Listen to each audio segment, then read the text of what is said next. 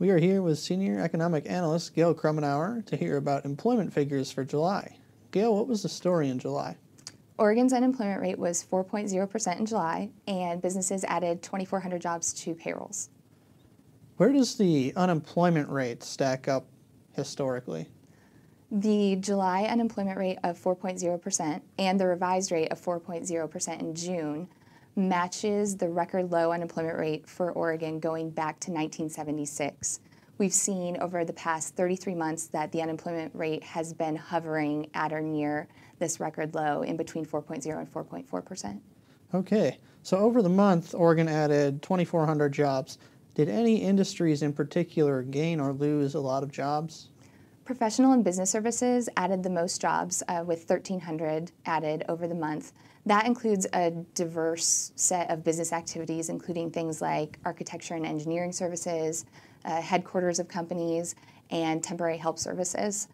Healthcare and social assistance also added a large number of jobs with an increase of 1,100 over the month.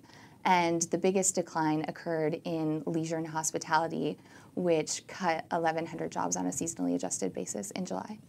So, where do these job gains or losses fit into the bigger picture, uh, the bigger trend in Oregon?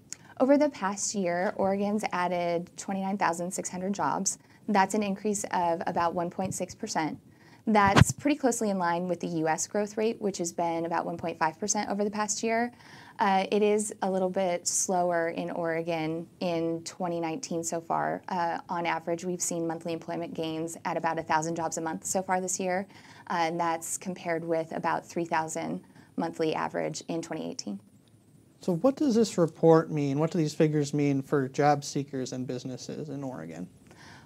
As we've been in this long stretch, almost three years of record or near record unemployment rates, it has been continuing to be a good time for job seekers to be in the labor market. Uh, on the other side of that, we do see businesses continuing to uh, detail some difficulty in hiring